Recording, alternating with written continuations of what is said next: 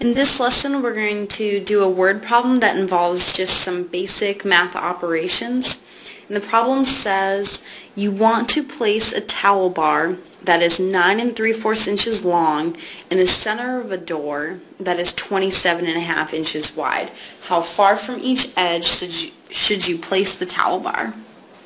So the first thing that you should do is to draw a picture. And so I'm going to draw a, somewhat of a door here. And we know that this is 27.5 inches wide. So this is the door. And then we also have our towel bar. And we know this is 9.75 inches long. And so if we want the bar to be directly in the center, that means we're going to want the we're going to want to place the midpoint of the bar on the midpoint of the door of the door's width if we want to be more specific. So first if we find the midpoints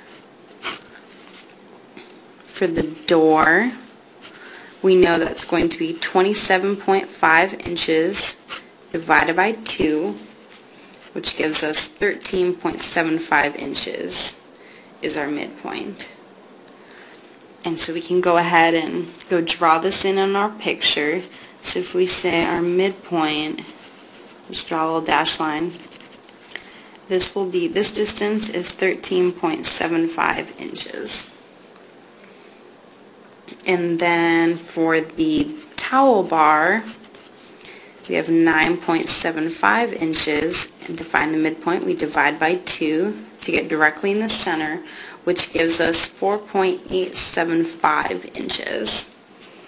So if we go up to our little towel bar, 4.875 inches.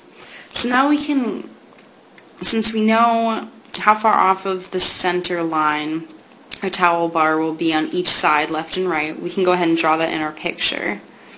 So if we draw our towel bar, we know that this distance here is 4.875, and we know this distance here is 4.875 because we just found that because we wanted the midpoints to line up.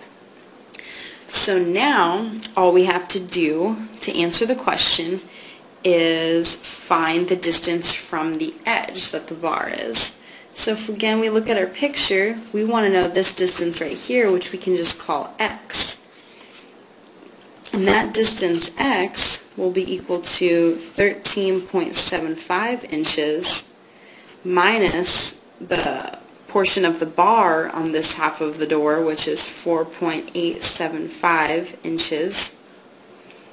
So x is equal to 8.875 inches from the edge.